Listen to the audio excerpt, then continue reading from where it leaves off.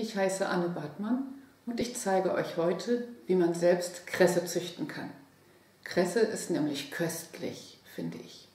Und gesund. Also, ihr braucht ein Päckchen Kressesamen. Das gibt es in jedem Supermarkt und das kostet nicht viel Geld. Ihr braucht Watte, entweder solche Wattepads oder lose Watte, etwas Wasser und einen Teller oder eine Untertasse. Zuerst legt ihr die Watte auf den Teller. Ich nehme gerne diese Wattepads, weil die lose Watte so fusselt und dann habe ich hinterher Wattefussel an meiner Kresse. Das mag ich nicht. Das sieht jetzt so aus. Jetzt mache ich die Watte etwas nass. Die Watte soll nass sein an allen Stellen, aber es soll keine Pfütze auf dem Teller geben. Jetzt streue ich die Kressesamen auf die Watte, nicht das ganze Päckchen, nur ein paar davon.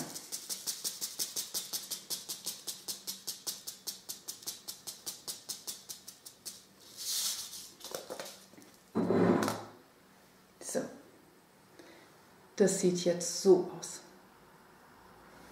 Jetzt muss ich den Teller an einen hellen Platz stellen, zum Beispiel auf eine Fensterbank. Und dann brauche ich nur ein paar Tage Geduld und muss zweimal täglich die Watte wieder ein bisschen nass machen. Sie darf nicht austrocknen. Seit einem Tag steht der Teller jetzt auf meiner Fensterbank. Ich habe die Watte gestern Abend und heute Morgen wieder nass gemacht. Das mache ich auch jetzt.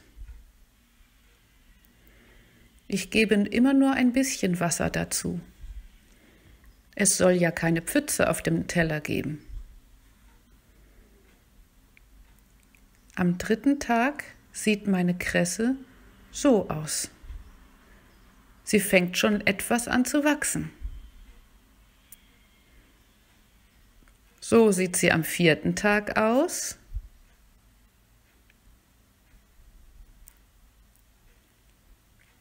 Und am fünften Tag kann man sie schon fast ernten. Hm, ich warte noch ein bisschen. Nach einer Woche ist meine Kresse richtig groß geworden. Jetzt kann ich sie endlich ernten. Dafür schneide ich die Kresse einfach mit einer Schere ab.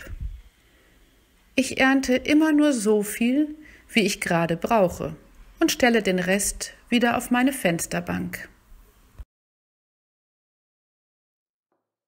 Die abgeschnittene Kresse esse ich am liebsten auf einem Brot mit Butter.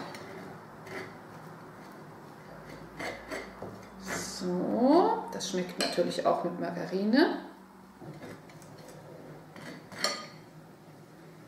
Dann nehme ich meine abgeschnittene Kresse und streue sie einfach darüber. nehme erstmal nur ein bisschen, denn Kresse kann manchmal ganz schön scharf sein. So, das war's. Guten Appetit, bis zum nächsten Mal. Tschüss.